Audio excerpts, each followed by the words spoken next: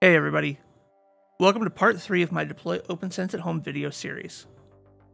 In this video, we're going to focus on hybrid NAT and UPnP to allow for open NAT for gaming. Before we begin, a brief primer on what these things are. NAT, or Network Address Translation, is the service on your firewall or router that will translate external IP addresses to internal IP addresses. If you recall in the last video, we made an alias called RFC 1918. This is exactly what NAT is translating between. Let's say that you're connecting to a remote web server through your firewall. Your device might have an internal IP address of 192.168.1.2. The remote web server might have some random public IP address. Same with your router.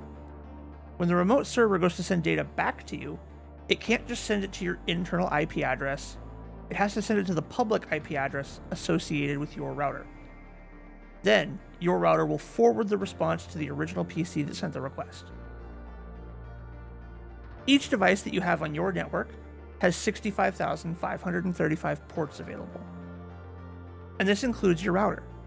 The ports between 49152 and 65535 are dynamic ports meaning that when your computer tries to connect to a remote web server, it can't just open a connection on port 80. Imagine if you could only load one website at a time because someone else was already using port 80 on your router. Instead, the router will assign one of these dynamic ports to use the connection, and the destination web server will respond to whichever port was assigned by NAT during the connection. The downside to this for gaming is that these connections have to be opened by the device in your network and the remote web server can't initialize any connections to you. This is good from a security perspective, but sometimes games utilize a peer to peer connection that requires others to be able to connect to you directly. This is also why those devices struggle to connect back to you if you're using a dynamic port rather than a specific port designed for that game or service.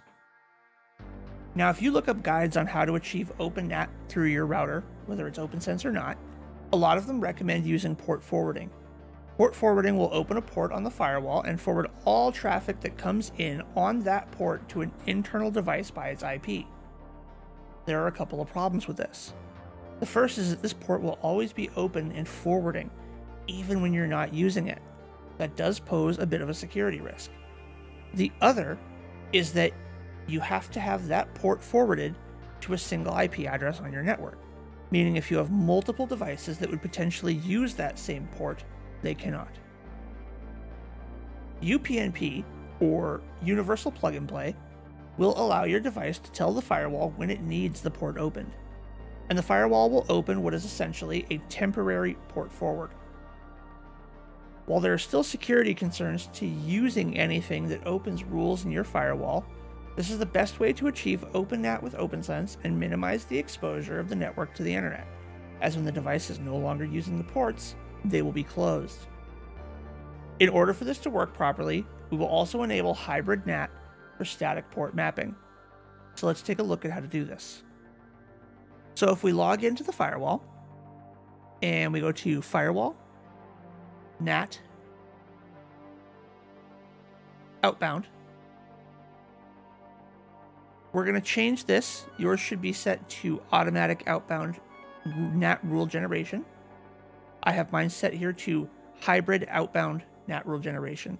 This will keep the automatic rules. This will allow us to create some rules as well. And you can see I've got a couple of rules created here. We'll circle back to these in a few minutes. Let's go install UPnP. We're going to go to System, Firmware, Plugins, and wait for this page to load.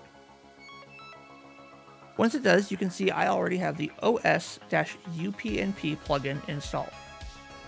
If you don't already have this installed, if you scroll down a ways, this list is sorted alphabetically once you get into the things that aren't installed, and you should be able to find it down here, and just click the install button. Once the install is complete, refresh the page, and now if you navigate to Services, you should see Universal Plug and Play available on the left hand side. Let's open that up and go to Settings. We're going to check the box for Enable. allow UPnP IGD port mapping, allow PCP NAT PMP port mapping, and we're going to set the external interface to WAN. And then we will set the internal interface to LAN. Now, in the future, if you have additional interfaces, you can set them here, whether they are internal, meaning they are inside your network, or external, meaning they are gateways on the outside of your network. But for this example, this will work just fine. From here, we can scroll down the user specified permissions. The first permission that I like to create is this deny rule at the bottom. This rule essentially means deny any internal port from any IP address from being mapped to any external port. By putting this rule at the bottom, we don't allow anyone on the LAN interface to use UPnP who isn't defined here in the user specified permissions.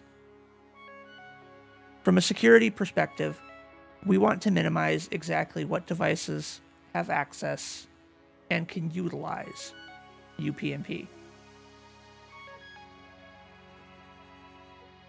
So, the way that we do this is by creating these specific allow rules. Now, you can get more strict than this with your allow rules if you want to take the time to identify every specific port and service that whatever device is going to listen on. For example, Xbox will use a different list of ports than PlayStation or than Steam. But I found that this works well enough for me, and I'm okay with the risks that come with allowing the UPnP devices to connect to a pretty wide range of ports. In my network, I actually defined a subsection of devices that I want to use UPnP with by using a subnet mask.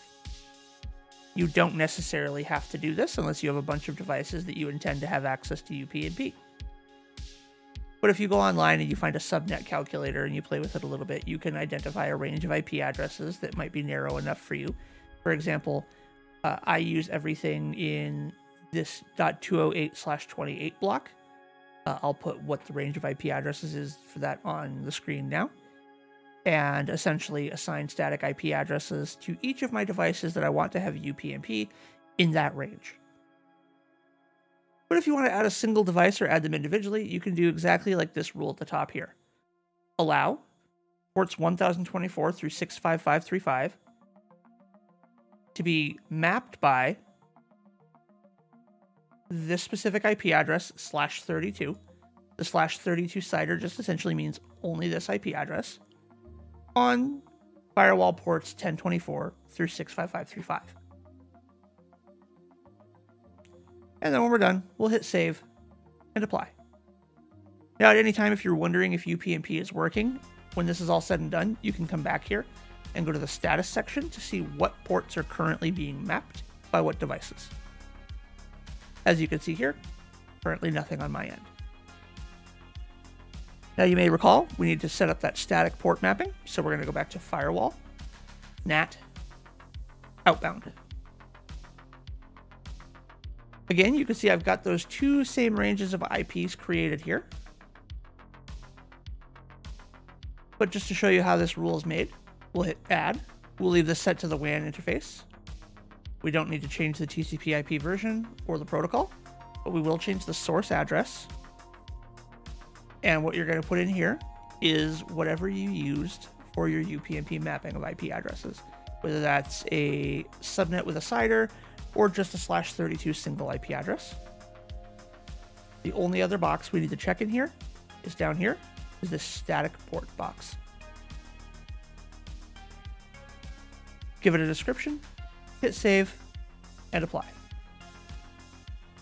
Your rules should essentially look like this. We can see we've got WAN interface, source IP address, NAT address is set to interface address, and static port is set to yes. That should be all there is to it. From there, you should be able to do a test NAT connection from your Xbox, PlayStation, or Nintendo Switch. It may have to run the test twice in order to get the open NAT, as the first one will request the connection and see that the connection was not automatically forwarded. But the second connection will show an open NAT. This should give you full open NAT functionality when playing your games online. In the next video, we're going to take a look at using GeoIP or geo blocking to create aliases and firewall rules that leverage country tags to block traffic coming from or going to specific countries. So stay tuned for that. Until next time.